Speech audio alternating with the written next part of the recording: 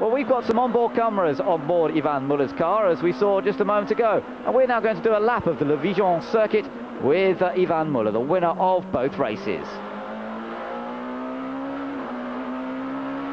Heading across the start-finish line opposite the pits to begin the lap and building up to maximum speed in sixth gear. Watching the brake with cameras also watching his feet.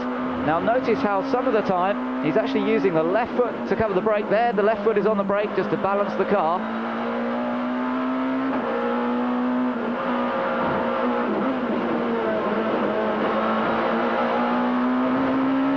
He's using the curb a little bit.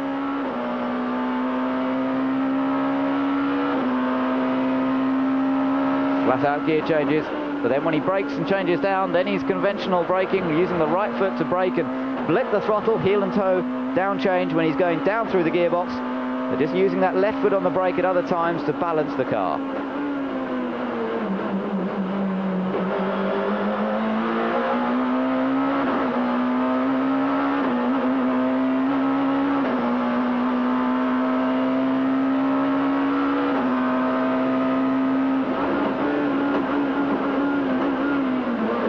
Working his way down the sequential box through each gear of course. Can't change down from sixth to second has to go down through each gear.